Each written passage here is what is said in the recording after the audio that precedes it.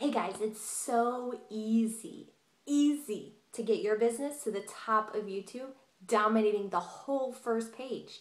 Want to know how? Click the link below right now, and I'll see you on the other side to answer all your questions.